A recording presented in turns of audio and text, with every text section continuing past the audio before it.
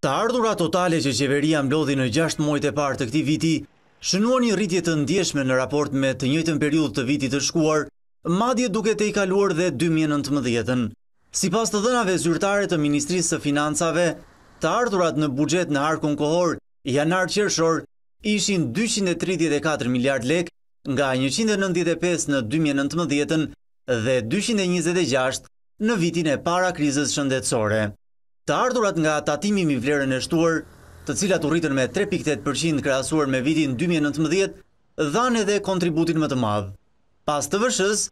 renditen të ardhurat nga sigurimet shoqërore e shëndetësore, ato nga tatimet dhe doganat, si dhe akciza.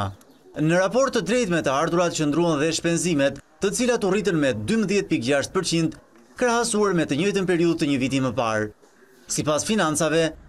financave, shpenzimet e përgjithshme publike arritën në vlerën e dyqind e gjashtëdhjetë e tre miliardë lekëve në gjashtë muajt e parë të këtij viti nga dyqind e tridhjetë e tre miliardë në vitin dy mijë e njëzet.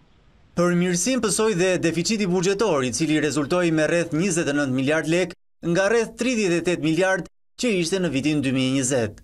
Rihapja e ekonomisë si dhe rritja e konsumit, pas lehtësimit të masave kufizuese si pasojë e pandemisë Covid nëntëmbëdhjetë, kanë dhënë një ndikim të menjëhershëm në rigjallërimin e ekonomisë në vend, e cila parashikohet që të rritet me pesë për qind këtë vit.